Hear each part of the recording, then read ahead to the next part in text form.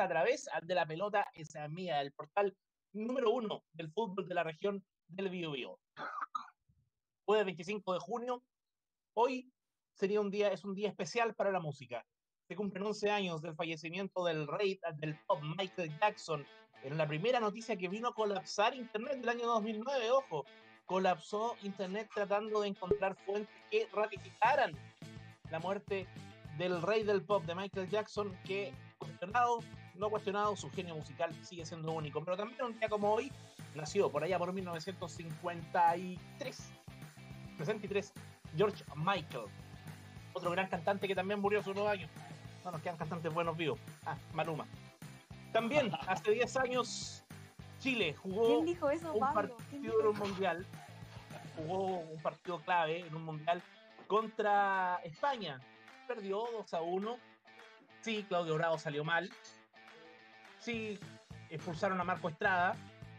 Sí, Rodrigo Millar hizo un gol. Pero hoy mostraron una jugada que fue extraordinaria, que armaron ahí entre Bosayur, Mati Fernández y Amar González se la movieron justita y la mandó a las nubes. O si no, le empatábamos a los españoles. No nos tocaba con Brasil. España moría con Brasil en, en los octavos de final porque no venía bien. Se afirmó después y hubiéramos tenido otro campeón del mundo y no hubiéramos tenido los españoles todavía creyéndose lo mejor del mundo después de ese mundial. Pero bueno, vamos a hablar de fútbol, vamos a conversar y a presentar primero a nuestra panelista, ya casi habitual de los días jueves. Un cariñoso saludo, ¿cómo estás, querida Denise? ¿Cómo te va?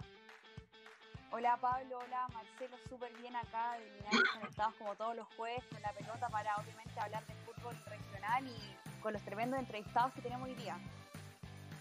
Exactamente, porque el primero lo vamos a presentar de inmediato. Fue protagonista en el ascenso de López Fire, del López Fire, de verdad. Desde tercera B a tercera A, arquerazo, con un nombre también que me imagino, le voy a preguntar también, pero lo han molestado más de alguna vez porque es un nombre histórico en el fútbol chileno, pero él también está construyendo su propio camino y también superando dificultades como la pandemia. Un abrazo, ¿cómo estás Marcelo Salas? Todo bien, todo bien acá. bueno, ya, ya, salí, ya salí de, ya me dieron el alta, y, pero bien, bien disfrutando a la familia, a la polola, a los amigos igual. Pero bien, bien, todo bien, todo bien. Muchas gracias. Vale, qué bueno, Marcelo. Hablé un poquito precisamente de la contingencia. Tú noticias un par de semanas porque te diagnosticaron con COVID-19 positivo. Eh, uno de los primeros futbolistas en reconocerlos. Se supo que en algunos clubes otros hubo futbolistas, pero no, no, lo dieron a conocer públicamente. Eh, preguntarte primero por qué decidiste hacerlo público, por qué reconociste y, y qué lecciones sacaste de esta, de esta situación. Mira, yo la verdad intenté de que, de que fuera lo más, lo más eh, reservado. Así, piola, lo más reservado, para que no, por el tema de mi familia, por cómo lo iban a mirar después de, pero un, un, un, conocido de Santiago que me preguntó si que podía dar una mención. Entonces yo pensé, no sé, pues en su programa iba a dar una mención del, de, no sé, una, una fuerza así como algo normal, como como una típica mención, así como un saludo a tal persona para que se recupere, una pronta recuperación y todo, pero subió una foto donde salió el tema del COVID y empezaron a preguntarme todo. Entonces igual después lo, miré de otra, de otra forma y dije que si lo hago público puede que las personas eh, tomen un poco de, precaución al, momento de salir y que no se, no se expongan mucho a esto. Que de igual forma creo que ayudó un poco en, en algunas personas, pero aún así eh, hay varias gente, al menos acá en Conce, que no le toman el peso a esto y, yo creo que es porque no le ha pasado ni a ellos, o sea, ni, ni, a, su ni a nadie de su familia. Entonces, cuando ya les pase, eh, obviamente van a, van a tomar todos los recuerdos posibles. Vamos a presentar también a Luis Escares Villa, que nos acompaña, un hombre experto, lo tachó ayer. Luis, ¿cómo estás? Y te dejo inmediato la palabra para que le preguntes a Marcelo. Sí, lo estaba escuchando, un poquito de problemas con el internet, pero ya todo solucionado. Bueno, Marcelo, estaba hablando recién del tema del coronavirus. Lamentablemente hay, muchos jugadores que también se han infectado. ¿Qué te parece a ti que se hable ya de la vuelta al fútbol por el 31 de julio en primera división? Y también qué pasa con, con usted en tercera división, donde el tema eh, se ve un poco más complicado. ¿Está la limitante de los recursos para los equipos? ¿Saben algo de que si el torneo va a seguir o no? Mira, de primera eh, fue bueno que, hayan puesto una fecha para la vuelta, sobre todo en primera edición. Creo que algo bueno que se está haciendo, el tema de, lo, de, Guachipato, que ahora hace poco volvió a entrenar. Creo que es bueno y también creo que eh, Chile no tiene las cosas necesarias como para, para, para la vuelta. No sé si me explico, por ejemplo, en Europa se volvió, ya bueno, hoy día salió campeón el Liverpool, pero es porque ellos tienen las medidas necesarias para, volver. Aquí, al menos en, América, eh, Argentina suspendió la liga, México creo que igual, y Chile que es un país que en el fútbol está en estos momentos muy abajo de, varias, o sea, no, no, digo que futbolísticamente, sino que en el tema ese de tema económico y todo, eh, creo que la vuelta se van a exponer mucho porque también el día a día uno no sabe con las personas que, puede estar compartiendo. yo estoy seguro que si se llega a infectar uno va, a ser muy complicado. Y como el fútbol obviamente es deporte de roce, eh, obviamente que es peor porque igual uno tiene una familia detrás, pero en sí es bueno que, empiecen a el tema de la vuelta y todo. eso lo respeto mucho y me gusta porque también el, no poder ver, al menos mi mamá, mi papá que están en la casa que ven siempre fútbol, eh, para ellos igual es algo nuevo, ver partidos antiguos siempre en el CDF ya como que ya llega un límite. Y bueno, volviendo al, y, y volviendo al tema de tercera división, yo lo veo muy complicado, muy complicado. Ni en segunda se ha, se ha, dicho el tema de la vuelta, pero yo veo muy complicado el tema de tercera. Al menos lo que me habló el otro día el presidente, creo que, eh, bueno, al menos Osorno tiene las medidas para volver. Eso es lo que me conversó él, pero está muy complicada la vuelta. Muy complicada. Marcelo, y en ese sentido, ¿cómo se ha portado el club eh, durante esta cuarentena? Lo conversábamos en la previa, pero para que la gente se entere, ¿cómo ha sido el tema de los entrenamientos en cuarentena? ¿Han estado con entrenamientos desde casa? ¿Cómo lo han estado haciendo? Sí, pues eh, hemos estado entrenando en las casas, al menos cada uno con su, con su rutina, pero eh, al menos lo, lo, han hecho así. Pues. perdón, perdón. Pero Lo que sí, uno, yo, lo veo como arquero porque a mí me gusta entrenar con. pero no, no el tema de hacer ejercicio físico, o sea, me gusta entrenar como arquero, no, no haciendo cosas como para mantenerme. No sé si me, me explico. Sí, sí, se entiende. Y eso, como que ya tres meses haciendo lo mismo es como ya. como que aburre un poquito. Entonces, igual uno trata de, bueno, estas últimas tres semanas, tres, cuatro semanas no he entrenado por el tema de, lo que me pasó, pero ya la otra semana voy a empezar a, volver, pero sí en, casa. Sí, no, no, pienso salir a exponerme a ningún otro lado. Marcelo, eh, disculpa que no te saque un poco de lo directamente futbolístico, pero cuando hiciste el examen, ¿qué sentías? ¿Cómo te sentías? ¿Cuáles fueron tus síntomas que te llevaron a diagnosticar, a buscar un examen y, y que te diagnosticaran finalmente? Lo que pasa es que a mí me, Yo empecé con un dolor de estómago. No sé si. Empecé con un dolor de estómago, pero a medida del. bueno, fue un día domingo. Entonces, como que con el tiempo empezó se empezó a agravar mal la situación. Eh, empecé con un dolor de estómago, después con un dolor de colon, eh, después la fiebre, llegando a casi 40 grados de, fiebre. Entonces, ya. Eh, ahí como que fue mucho. Le dije, ¿sabes qué, papá? necesito ir a la clínica y me llevó y ahí me dijo el, doctor, me dijo al tiro, me dijo que el tema de la fiebre es muy... Siempre uno de los, de los primeros síntomas que presenta el tema del COVID. Y me dijo que, iba a hacer, que me iba a hacer el examen ahora. Y me hizo al tiro el, el PCR, donde te, te, colocan una, la varita en la nariz. Y después de eso me hizo el examen rápido, que es el de sangre ese salió negativo, pero el otro me lo dieron al otro día y me dio positivo. Y ahí ya encerrado en la pieza. Pero eso fueron, el, síntoma más grave que tuve fue el tema de la fiebre. Ese fue el, más complejo. Más llamativo.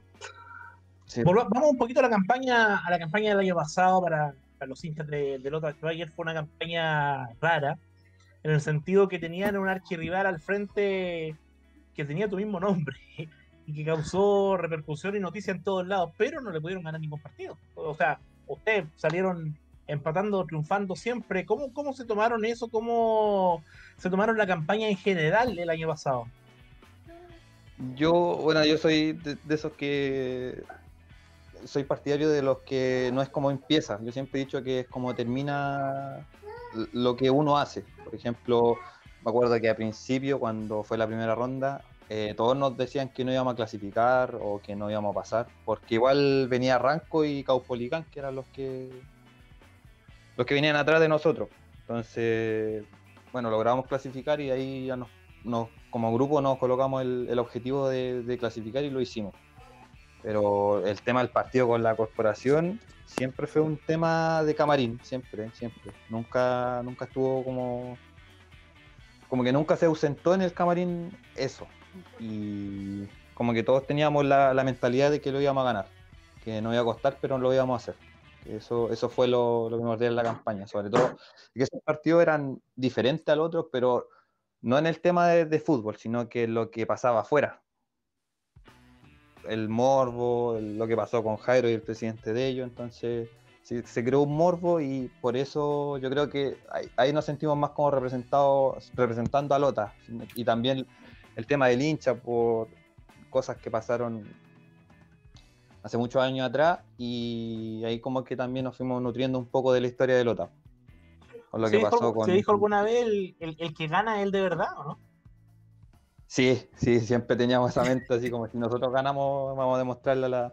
Pero, pero lo que pasa es que también la corporación eh, en, la primera ronda clasificó como cuatro, cuatro o cinco fechas antes. Claro. Entonces nosotros hasta el, hasta el final, bueno, ellos, nosotros yo creo que tuvimos la suerte de que ellos se relajaron un poco.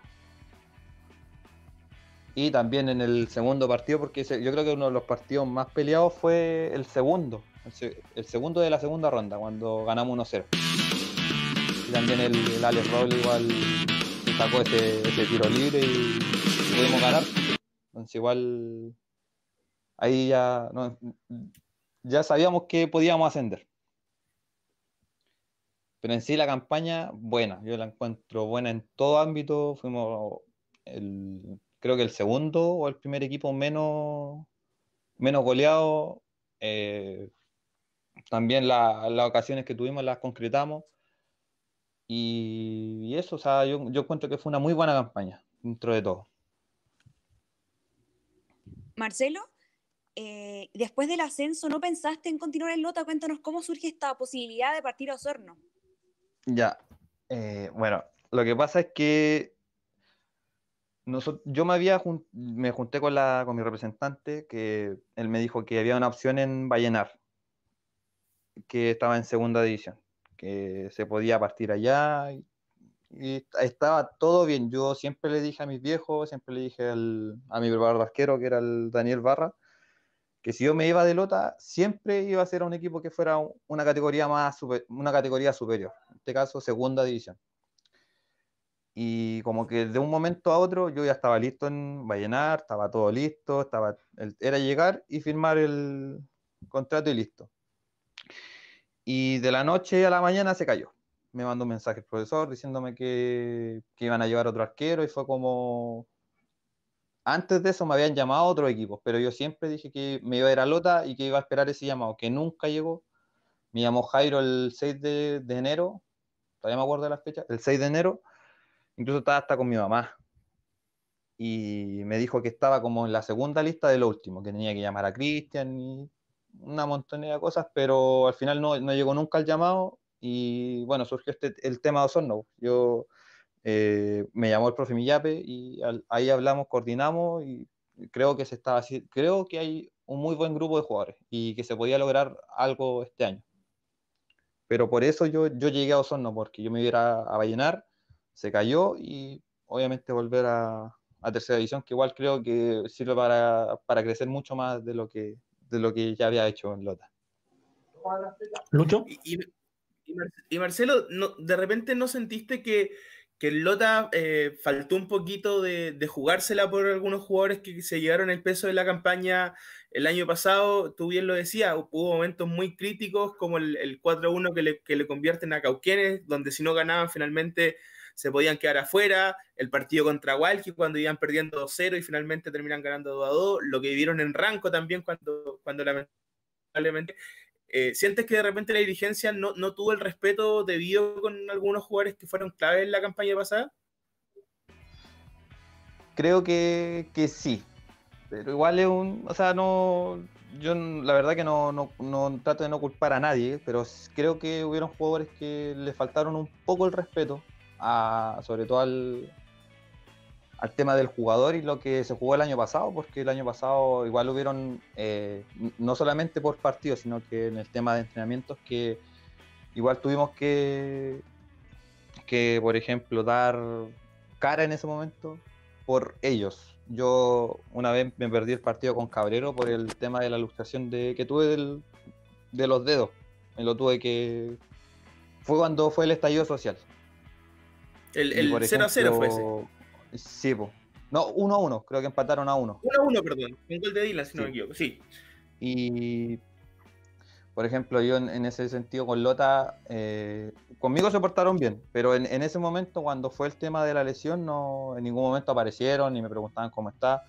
Incluso un profe me, decía que, que yo tenía que, que, que hacerlo, que tenía que jugar. Entonces, creo que nos faltaron un poco el respeto no solamente a mí, sino que a varios jugadores del plantel del año pasado. En ese sentido, pero yo no, yo no culpo a la dirigencia, no, en ningún momento la dirigencia siempre fue derecho al decirnos las cosas, siempre, siempre, siempre. Nunca hubo algo por detrás, siempre fueron de frente al, momento de decir las cosas. No puedo decir que Jairo fue, o que el Seba fue, o que Don Claudio fue, no, ninguno de ellos fue. De eso yo estoy muy contento. Marcelo, eh, tú decías, acepté firmar el Osorno porque es un club donde este año podemos lograr cosas. Bueno, este año, suponiendo que se, pueda jugar, ojalá que se pueda por lo menos hacer un torneo de una rueda, algo que pueda determinar los ascensos y se, se dé cierto aire de normalidad en la campaña, pero más allá de esto, más allá del, de, de, lo que pueda lograr este año, ¿qué quieres tú en tu carrera? ¿Para dónde apuntas? Yo siempre voy paso a paso, no, no, ningún momento me apuro y tampoco yo puedo decir que yo voy a vivir de esto, uno tiene que ser bien realista para esto. Eh, yo la verdad que yo sentí que este año podía llegar a una división Margas. Me sentía preparado, me sentía con la confianza, pero yo lo que quiero es llegar a primera división. Ese es mi, siempre ha sido mi meta, siempre, siempre, siempre. He trabajado para ello, pero ese, ese, ese es, mi, ese es mi objetivo, es llegar a primera división. Ojalá, me encantaría, y Dios lo quiera, que el jugar en, en el equipo que a mí me formó, que fue la Universidad de Concepción. Pero yo, yo, siempre he dicho que si uno quiere lograr algo, tiene que trabajar para ello. En Osorno yo sentí que puedo, bueno, en, también el probador de arquero que está ahí, que es Raúl Mirpan, que también jugó en Osorno, eh, creo que también me, me, me, ayuda bastante lo que hice con Daniel Barra, lo que hice con Carlos Teja el año antepasado en Salamanca, entonces creo que tampoco me voy nutriendo de ellos. Y igual Osorno es muy buena vitrina, es un equipo muy histórico, de, de allá de, del sur de Chile y se veía muy buen equipo, muy buen equipo. Pero eh, si no se puede llegar a primera, yo no me, no me voy a quedar con la con, con, esa mañita de decir, no, sabéis que no llegué por tal motivo, no, sino no llegué, lo intenté, pero no llegué. siempre no, no puedo decir también, ay, no, no puedo vivir sin el fútbol. Sí se puede vivir porque yo el año, el año antepasado lo viví, trabajé y sí se puede. Pero mi, mi, objetivo era como lo dije, ojalá en la Universidad de Concepción, que es el equipo que a mí, yo siento que le debo algo, no me formó. Cuando ve el ejemplo, por ejemplo, de lo que pasó con Gustavo Fuente Alba, que pasó de Quillón a La Serena y en La Serena este año ha sido titular varios partidos en primera división, uno lo mira y piensa, se puede, ¿cierto? Ese es como un, un paso a seguir. Sí, pues no, el, bueno, yo al, Gustavo a la tira yo siempre lo siempre hablábamos, cuando me pasó el tema del COVID igual se preocupó bastante. Eh, Alba siempre ha sido un, un, ejemplo, al menos no solamente para mí, sino que para todos los, los jugadores de tercera división, el ejemplo a seguir, igual que el Halcón, que ahora está en Puerto Montt, Claudio González, que son arqueros que han pasado por estas divisiones y saben la, lo, que es, lo que es estar en esas divisiones. Entonces igual los tomo como ejemplo. Yo siempre he dicho que hasta el, hasta el final yo lo voy a hacer. Hasta el final yo voy a luchar hasta el final y si no se puede, listo, ya al menos lo hice. Con eso yo me quedo. Pero siempre al Fuente Alba lo, bueno, yo entrené con él en el CIFUP y era un prácticamente era un monstruo para entrenar. O sea, yo siempre lo decía este perdón la, la palabra. Este tipo se, se, mata entrenando, entonces se merece estar en un equipo de primera edición pero todo es paso a paso, todo, todo siempre ha sido así. Fuentalba ascendió con el Vial, hizo buena campaña en Cauquén, entonces ya igual venía haciendo muy buenas campañas. Y se, eso se, se ve, se ve. ¿Venís? Perdón por la palabra. No, dale. Eh, Marcelo, en ese sentido, eh, encuentro que demuestra cierta madurez al decir que, que tú asumes que quizás no vas a poder vivir del fútbol y que años anteriores estuviste trabajando y que de todas formas vas a luchar, pero ¿qué sería de Marcelo Salas si no fuese futbolista? También el año pasado estaba estudiando preparador físico en la Universidad de Santo Tomás y creo que para allá va mi... Ese es mi camino, siempre enfocado en el tema de la actividad física, siempre, siempre. Lo que sí quería sacar es preparador físico y preparador arquero para empezar a especializarme en eso, pero todo es con tiempo. Yo en este momento el Marcelo Salas que, trabaja, se va a a trabajar, el, en, trabajé en, una parada de planta allá en, Itata, con, mis vecinos que igual me ayudaron bastante. Eh, pero yo creo que el camino va por el tema del preparador físico. Ese es mi, como lo, lo, que mejor, lo que mejor hago, yo creo. Hoy tenemos algunos comentarios de la gente que está viendo la entrevista otra vez en el, fanpage de la pelota es mía también a través de YouTube. Estamos saliendo en muy buena calidad a través de YouTube. Suscríbase. Suscríbase. El dedito así, usted le hace clic. Dice eh, Felipe Rivas, aguante Chelo. Eh, Cristian Monsalve, hola, saludos veterinarios. A César Valdivia, aguante Marcelo. Ignacio Garrido, saludos al matador del arco. Envía saludos a Ti Ramírez y Sea Butrón. Taxa. Tienes buen, buen, buen nivel de amigos que te saluda, Marcelo. Un comentario. yo al lo conozco, yo sé por qué me está saludando. ¿Cómo? yo sé por qué me está saludando el botón. Eh, bueno, El después puto. nos podrás contar. en No, no, profundidad. mejor no les cuento porque Mejor no. Vamos a tener que invitar al Seba un día entonces para que nos cuente él qué, cuál, es el- cuál es la relación con Marcelo. Sevilla. Lucho, Lucho, Sí, eh, oye, Marcelo, hablando de esto del matador del arco, eh, es curioso que un arquero, Marcelo Sala, sea, esté bajo los tres tubos. ¿Qué, qué te decían cuando eras chico? ¿Te lo las- te relacionaban mucho? Muchas bromas, me imagino, de los compañeros de profesión también. No, lo, lo que pasa es que yo cuando empecé en el tema del fútbol, yo jugaba arriba. Yo jugaba Ah. delantero. Ya, entonces, en ese momento no, no, nadie me dijo nada, ni- siempre me molestaban por cómo hablaba Marcelo Sala. Siempre, siempre fue un, un tema hablar, Con siempre. después de Kramer. Sí, claro, como él. Entonces, no, no fue un, algo que me molestara. Yo siempre me. Bueno, el- con el tema de que era muy nombrado, eh, nunca me. Como que me hizo daño el tema de que me molestaran por llamarme así. Cuando yo pasé al arco, eh, bueno, mi hermano igual jugó de arquero y, ya en- cuando estaba en Naval, en la sub-14, ahí como que empezaron a molestar, pero ¿cómo te llamas Marcelo Sales juega el arco? No entiendo, no, no sé por qué, pero siempre fue mi... El arco yo creo que fue lo mejor para mí, porque era asqueroso arriba. Hacía goles, sí, es- no, no lo niego, pero Oye, creo que en el arco me manejaba mejor. Pero tu papá, tu papá, no sé, era fanático de Marcelo Sala o algún abuelo, algún pariente que se llamaba así o, o fue ocurrencia. No, no, incluso mi papá es, es del Colo, o sea, no, nada de, de Marcelo Sala. Pero lo que sí fue por el, lo que contaba la otra vez cuando yo fui a la pelota en Miau, que fue por un gol en un partido con Uruguay. Cuando mi, mi papá dijo, ya, si es un gol Marcelo Sala, le coloco así, lo hizo y me dejaron como Marcelo Sala. Pero nunca fue como prioridad ese nombre, fue no que salió así el, a la El chunta del, Marcelo el del 96, ¿no? El cabezazo. No, el, El de la 98, batalla del Chiqui.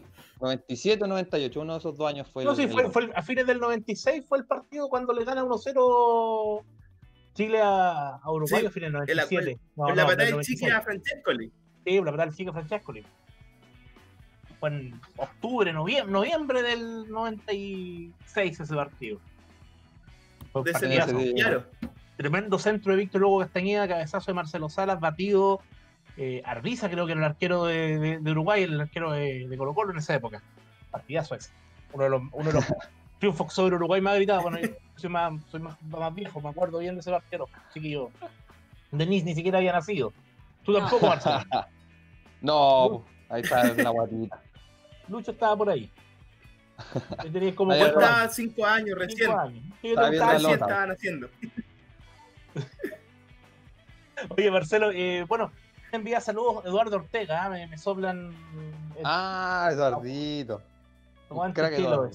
Ah, qué eh, Marcelo, como para ir eh, sacando conclusiones, ¿qué, qué esperas de este año? Ya lo, lo, lo dijiste, pero en resumidas cuentas, lo principal es que se juegue, me imagino. Sí, pues, sí, pues yo siempre te. Eh, las ganas están, las ganas están de jugar, pero uno igual tiene que ver el- lo que está pasando. Y igual dicen, puta, mejor prevenir, prevenir todo esto y esperar aguantarse el otro año. Pero las ganas están. Ya.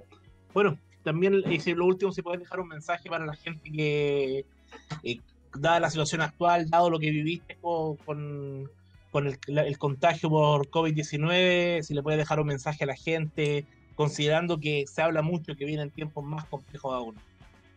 Sí, no, o sea, lo, lo que le he dicho a, a- en realidad a, toda la- a todas las personas que me. que el cuidado tiene que ser muy importante. eh, la única forma de prevenir esto es quedándose en la casa. Es la única, la única manera, como no tiene cura, obviamente, el- para no seguir propagando esto, es quedarse en casa, tomar las medidas si uno sale, tratar de, obviamente, el que sale a trabajar, que salga a trabajar y los demás dentro de la casa. Pero eso, eso principal, principalmente de, eh, decirle eso a todas las personas. Perfecto. Marcelo, te damos las gracias. Nosotros nos vamos a ir a una pausa y ya volvemos en el segundo bloque con una interesantísima entrevista. Nos vemos. Nos vemos. En Clínica Universitaria Concepción, tú nos importas. Queremos que tú y quienes más quieres cuenten con todo lo necesario para prevenir, cuidar y mejorar su salud, todo en un mismo lugar. Con cada uno de nuestros servicios buscamos llegar al corazón de las miles de familias que confían en nosotros. Una clínica acreditada en calidad y a la vanguardia en innovación y tecnología. Seguimos creciendo en infraestructura y profesionales especializados, impulsando así una mejor salud para todo el sur de Chile. Todo lo que necesitas para cuidar de ti y los tuyos lo encuentras en Clínica Universitaria Concepción, parte de la red de clínicas Andes Salud.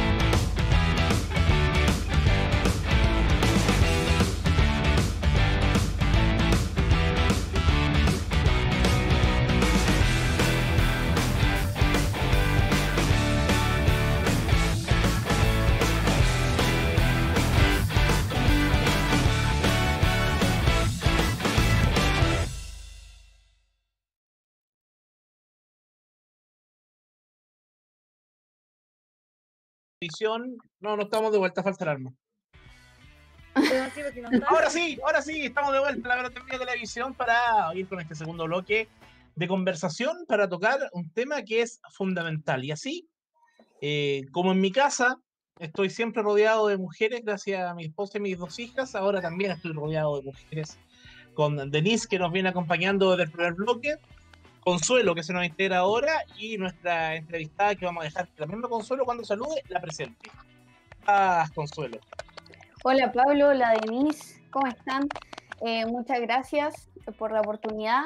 Eh, estamos aquí en, en, vivo para La Pelota es Mía TV, gracias a quienes también están eh, sintonizándonos el día de hoy. Y damos la bienvenida a Karen Araya. bienvenida Karen, ¿cómo estás? Hola, muchas gracias. Hola Karen, ¿cómo estás? Bien, bien, todo bien por acá, muchas gracias. ¿Entrenando en casa? Entrenando en casa, como todos los días. todos los días. Entreno más que cuando estaba cuando estaba sin pandemia esto, entreno más. No, no, nos pasa a todos los que estamos trabajando desde la casa, parece que sentimos que hay, más trabajo. Pero cuéntanos un poco cómo, cómo ha sido estos meses, cómo lo han, trabajado ustedes en, tu equipo, eh, con pauta, me imagino, entrenamientos vía videoconferencia. ¿Cómo ha sido el, desarrollo del, del, mantenerse en forma, del mantenerse activo durante esta época que ha sido muy compleja? Eh, sí, en, Santiago Morning entrenamos tres veces por semana vía Zoom y el eh, martes, jueves y sábado eh, con una pauta. A eso se le agregan los trabajos que, realizamos por la selección, que son de lunes a miércoles, o sea, de lunes a miércoles la gran mayoría de, nosotras entrenamos doble jornada y seguimos un protocolo, como te digo, de, entrenar lunes, miércoles y viernes vía Zoom con, la gente del Chago y, los otros tres días con pauta. Karen, ¿y qué, qué, pasa con el sobreentrenamiento? ¿Tienen algún asesoramiento personal para, para ir viendo cómo, cómo, están ustedes también en, en esta situación? Sí, eh, llenamos una plataforma de percepción del esfuerzo, de cómo se siente cada jugadora y tenemos un poco de libertad también en ese sentido de, poder decir, yo estoy un poco cansada hoy, no sé, voy a bajar un poco las cargas eh, y ya cuando esté de mejor manera vuelvo a las cargas habituales. También tenemos contacto directo con, los kines, con los preparadores físicos del club, tanto del club como de la selección y, ellos también tienen un, contacto directo que, van manejando las cargas de todas las jugadoras. a, nivel, a nivel general estábamos eh, viendo algunos estudios, sobre todo basados en las cifras que entrega el INE, que por ejemplo a nivel laboral en general, la inserción laboral de la mujer ha retrocedido en esta época de pandemia en tres años. Hay un, una tasa de desocupación altísima que no se veía desde el 2010 y una mm. cantidad de mujeres fuera de la fuerza del trabajo que tampoco se veía desde octubre del 2010 un 47% fuera y ahora estamos en un 47,3%. Son cifras que llaman mucho la atención. ¿Piensas tú que esto se traslada al fútbol? ¿Piensas que este párate y esta indecisión sobre si se juega o no se juega el torneo femenino este año va a causar también un retroceso en lo mucho que se ha logrado avanzar que aún es poco todavía, en el fútbol femenino en Chile durante los últimos años? Creo que, lamentablemente sí, creo que, como te digo es lamentable porque ya, por ejemplo, eh, nos comunicaron que segunda, la segunda división ya no se va a jugar, el futsal tampoco se va a jugar, eh, lo único que todavía está en veremos es la primera división y la verdad que son, son bastantes equipos los que, los que pierden con esto, sobre todo los de segunda división. Eh, tengo entendido que los de primera división eh, siguen entrenando vía, vía, vía Zoom, vía, no sé, eh, online en sus casas, pero, pero también creo que hay un retroceso gigante al, al, detener estos campeonatos que, que, también son importantes, de segunda división, de futsal, la sub-17, la sub-15, que son que son ya categorías que, lamentablemente no se van a jugar. Eh, esperamos que, que, se pueda jugar la primera división, que se pueda eh, volver a los entrenamientos lo antes posible. Tenemos, por lo que nos han contado, hay un, supuesto de, volver quizá en octubre, pero para eso también está, está todo en veremos, entonces tampoco es nada, está todo incierto aún. Karen, y con está todo incierto, como bien tú mencionas. En un principio, ¿tú cómo veías el 2020?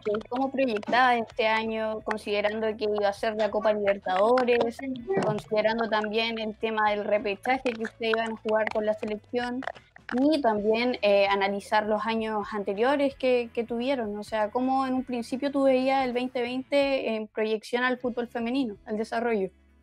Yo veía un 2020 lleno de, de fútbol femenino, la verdad, creía que que el fútbol femenino iba, iba a estar en, su, máximo, su máximo esplendor. Eh, la Copa Libertadores es acá en Chile, es aún, porque todavía no se sabe si, si está suspendida.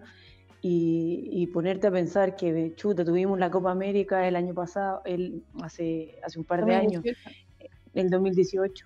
Eh, tener ahora una Copa Libertadores, haber clasificado con la selección a un mundial, tener la posibilidad de ir a un repechaje, o sea, habían millones de fechas FIFA, esto del repechaje, la Copa Libertadores, eh, no sé, y, cientos de torneos más que, esperábamos poder estar ahí y, claro, lamentablemente ahora cada una está entrenando desde su casa y esperando que, se solucione esto lo antes posible. Y como te digo, no perder la posibilidad de, tener la Copa Libertadores que, que acá en Chile, eh, ojalá eh, esto se, se, arregle antes y la Conmebol eh, quiera jugar aún así el, torneo de Copa Libertadores acá en Chile, porque creo que sería algo espectacular para el país.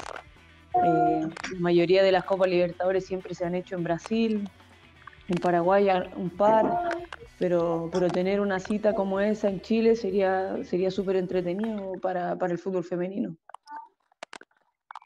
¿Te gustaría que se jugara acá en Concepción, por ejemplo? ¿Qué, te diría, qué dirías si te dicen, vamos a hacer la Copa Libertadores. Leí la semana pasada que proponían enero del 2021 para la Copa Libertadores Femenina y la, Federación de Fútbol Chile eligió Concepción. ¿Qué dirías tú si te dan esa alternativa?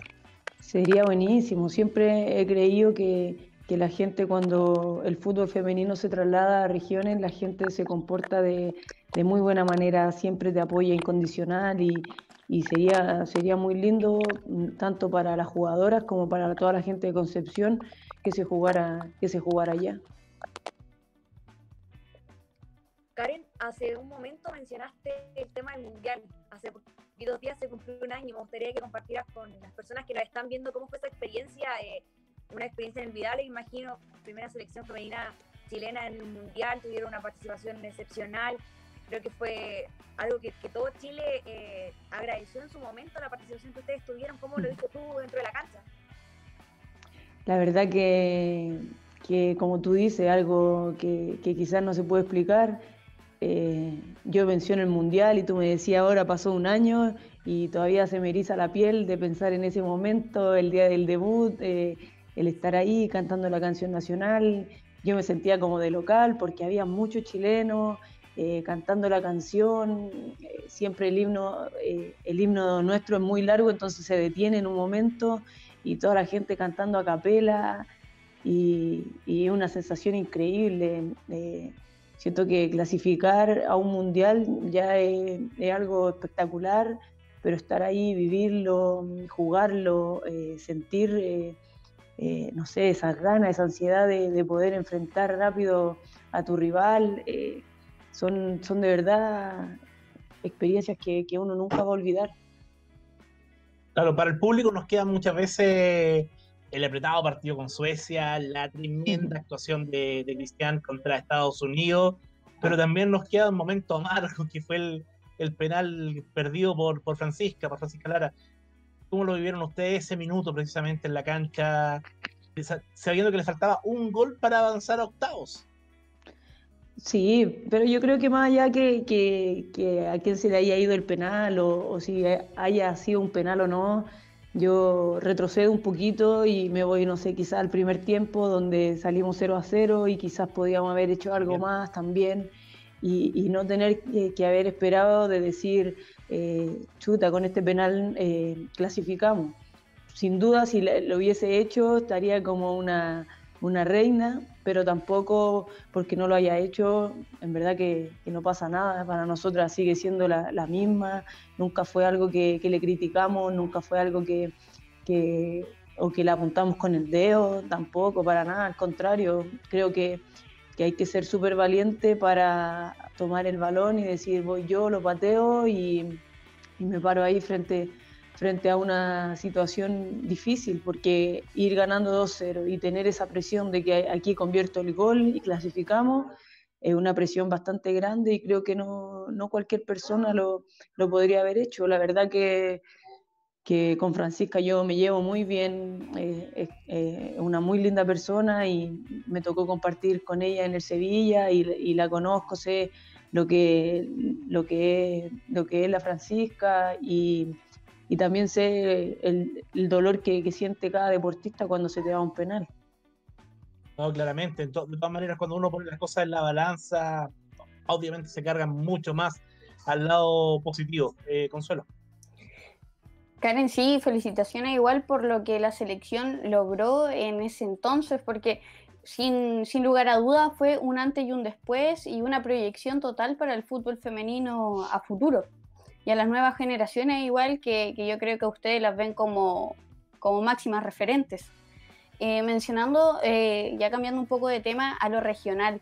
Eh, la pelota mía es un medio regional, principalmente de Concepción, la región del Biobío, y también Ñuble. Y quería saber, tú delante mencionabas que eh, era muy rico ir a regiones, que el ambiente era agradable. Me gustaría saber eh, cómo ves tú o cómo ha sido tu experiencia cuando vienes a jugar contra Fernández Vial, cuando has jugado contra la Universidad de Concepción. ¿Cómo proyectas tú a estos rivales? Eh, la verdad que, que quizá antes eh, era muy poco quizá el apoyo que tenían las mismas chicas de, de los planteles. Espero que ahora la, la cosa siga sea un poco más distinta y, tengan un poco más de apoyo. La verdad es que, desconozco porque eh, pasé, harto, pasé casi dos años fuera y estoy en completo desconocimiento de lo que de quizás lo que pasa realmente en las regiones. Como yo soy de Santiago, eh, casi que, que, me centro solamente en lo que pasa acá en Santiago.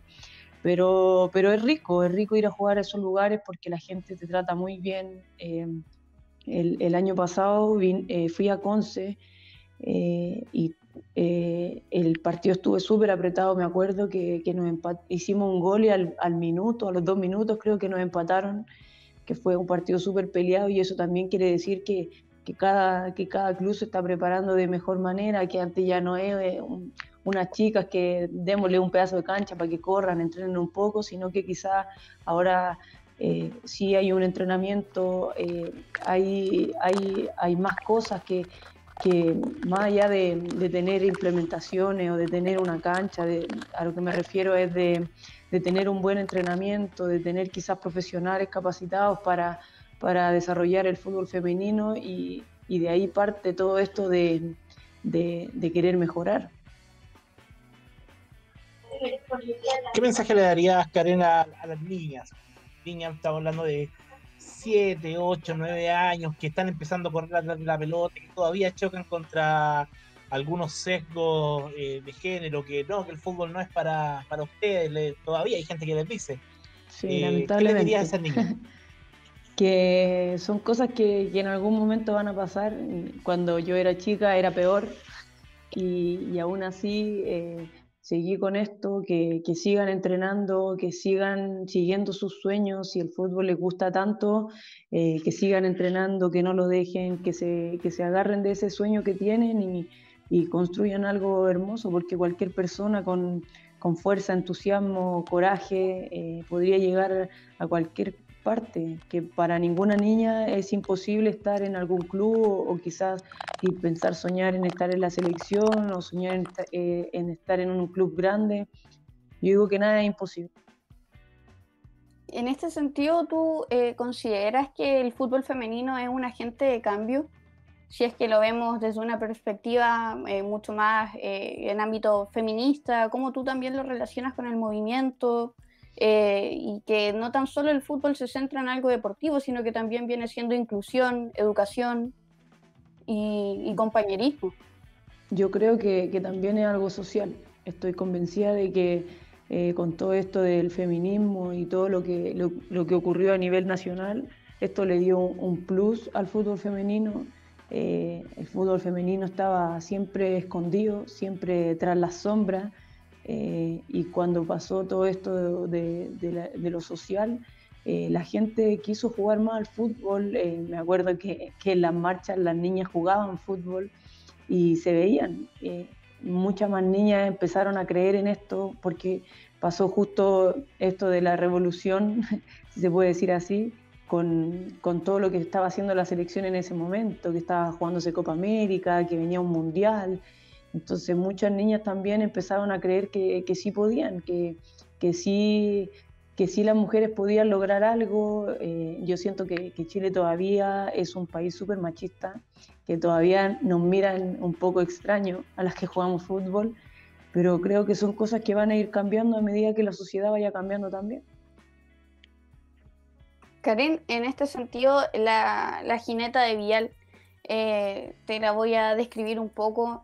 Eh, la última vez que jugaron, que fue el 16 de marzo, 15 de marzo, antes de que comenzara todo este tema de la pandemia, eh, Norma Castilla, que es la, capitana de Vial en este minuto, usó una jineta que decía ni una menos, hasta que la dignidad se haga costumbre. O sea, ¿cuál es tu, apreciación frente a esa, a esa jineta?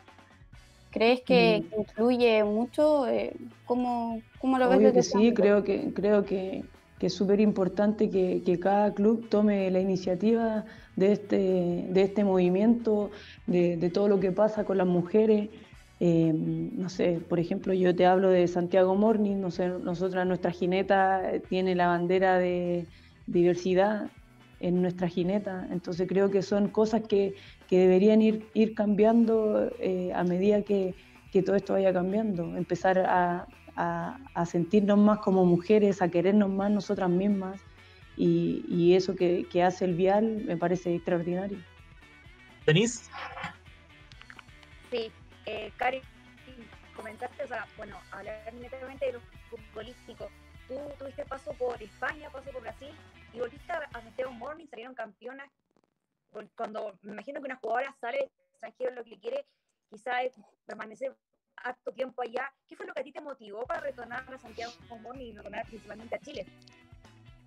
Eh, la verdad, lo que a mí me motivó es que yo después del Mundial eh, me sentía, sentía que, que, que, el fútbol estaba haciendo mi trabajo, que tenía que ir a entrenar obligada, que si un día no quería ir, eh, estaba obligada a ir y, sentí que, que, perdí un poco lo que era la esencia del fútbol. Y la única manera de, de quizás recuperar esa esencia era volviendo a donde yo crecí, a donde yo nací. También extrañaba un montón a mi familia. Eh, como te digo, el proceso del Mundial fue un proceso súper extenso porque habían fechas FIFA eh, por muchos lados, entonces venía muy poco a Chile, eh, creo que habré venido dos veces a Chile y, que comparto dos días con mi familia y el resto me tengo que volver a, encerrar. Eh, y más que nada fueron esas cosas que, que, me, que me hicieron pensar y decir, chuta, quiero, quiero pasar un tiempo en Chile, en mi casa, volver a mis raíces, volver a reencantarme con el fútbol y no tener que decir tengo que ir a trabajar sino que tengo que ir a entrenar porque es lo que a mí me gusta, no, no porque me estén pagando tener un contrato. Y, creo que, que, fue la mejor decisión que tomé, porque justo después de esto viene esta pandemia y yo estando en España, te juro que me hubiese muerto sin haberme venido a mi casa, sin estar con mi gente. Eh, entonces creo que, que, fue una muy buena decisión, me pasaron cosas muy lindas cuando volví a Chile eh, fue difícil porque claramente eh, en jugar en el extranjero es algo que, es bonito, se pasa bien, uno crece como persona y, te ayuda a crecer. Eh, a mí me gustó mucho estar en España, la gente también quería que yo volviera en España, entonces fue una decisión, fue una decisión difícil, pero no, me arrepiento, al contrario, creo que, fue lo, mejor que pude haber hecho y estoy feliz acá en Chile. Karen, destacar el, golazo que hiciste contra el Real Betis. Cuéntanos también cómo fue esa sensación al momento de patear fuera del área y mandarte un golazo. Eh, sí, la verdad que, uno no, no sueña esas cosas. Yo cuando después publiqué esas fotos del gol, yo puse sueños de niñez, de esa canción que, que no, no me acuerdo, sí, esa canción. Y, son sueños de, niñez porque eh, cuando, cuando tú vas a jugar acá en Chile o lo que yo había vivido antes, eh, nunca había tenido tanta gente que estuviera mirando el fútbol femenino. Eh, y en ese estadio habían 25.000 personas alentando y gritando todo el partido, era como estar en un partido, no sé, en un clásico acá masculino y lo estaba viviendo yo, como nadie pagó como de preliminar para ir a ver el partido, sino que estaba, habían pagado la entrada por ir a vernos a nosotras. Entonces, claro, marcar un gol de esa magnitud en ese estadio, encima que era el archirrival, eh, son sensaciones inexplicables. Karen, la última pregunta. Eh, Camerún, ¿cómo están para ese desafío? Eh, estamos tranquilas. eh, la verdad que ahora en este momento estamos todas pensando en, en- en todo lo, que es tema de salud y mantenernos bien todas, eh, que no tengamos problemas de, de contagio, ese tipo de cosas. Y, y nosotras lo último que alcanzamos de ver fue el partido que jugaron contra Zambia y lo que, lo que hicieron un poco en el Mundial. La verdad que hay que analizar rivales, hay que analizar videos, hay que analizar todo este tipo de cosas para, para enfrentarlas de buena manera y esperar también la fecha, porque tampoco se sabe las fechas de, de- de este repechaje y cuando llegue el momento tratar de, estar todas al 100 de la mejor manera posible, mejor preparada y, y estar ahí en el sueño de todas. Yo creo que, que son los, los Juegos Olímpicos. Lo último, eh, ¿qué va a hacer eh, de Karen Araya una vez terminada la vida futbolística? ¿Te gustaría seguir ligado al deporte o tienes otros planes para tu vida? ¿O no Eh, no, yo eh, quiero seguir en el fútbol femenino. eh, me encanta el fútbol femenino. No sé si, si, si ir directamente a la formación de, de niñas o tener una escuela o hacer algo así, pero yo creo que mi vida está netamente ligada al fútbol de aquí hasta que, hasta que ya no exista más Karen Araya, pero yo creo que siempre ligada al fútbol, a todo lo que eh, quizá eh, de entrenadora, después quizás más administrativo, no sé, pero yo creo que siempre ligada al deporte, siempre ligada al fútbol, apoyar al fútbol femenino, yo sé lo, lo difícil que es estar en este medio y en, toda, en todo ámbito, en ámbito ya sea ser futbolista, ser entrenadora o ser eh, locutor o venir de la radio, de tener una página web de fútbol femenino, sé lo difícil y lo complicado que es, entonces eh, quiero que esto surja, que esto sea grande, que, que ojalá en unos años más Chile sea una potencia a nivel mundial de fútbol femenino, que tener una de las mejores ligas, ojalá. Son cosas que, que me gustarían para, para Chile. Bueno, Karen, eh, muchas gracias por tu participación durante esta entrevista en un nuevo capítulo de La Pelota en Mía Televisión, el TV. También gracias Denise, gracias Consuelo por uh, su presencia y a todos nuestros uh, televidentes uh, por streaming. Nos reencontramos el próximo jueves a las 20 horas. Otros. Pero mañana no se pierda un interesante capítulo de charla táctica con don Felipe Lascano. Voy a estar analizando los movimientos pulcros del fútbol con algunos analistas del tema. Por mi parte, eso es todo. Buenas tardes, buenas noches, buenos Pablito. días, de lo que sea. Dígame. Agregar también que eh, est- estamos realizando un especial de fútbol femenino. Y Hoy día comenzamos a lanzar notas, así que hay notas muy buenas sobre la región del Biobío para que igual la gente esté al tanto y pueda estar leyendo sobre, sobre este deporte tan lindo. Extraordinario. Siempre lea- léala entonces aquí en lapelotasmia.cl. Ahora sí, buenas noches. Nos vemos la próxima semana. En Clínica Universitaria Concepción, tú nos importas. Queremos que tú y quienes más quieres cuenten con todo lo necesario para prevenir, cuidar y mejorar su salud, todo en un mismo lugar. Con cada uno de nuestros servicios buscamos llegar al corazón de las miles de familias que confían en nosotros.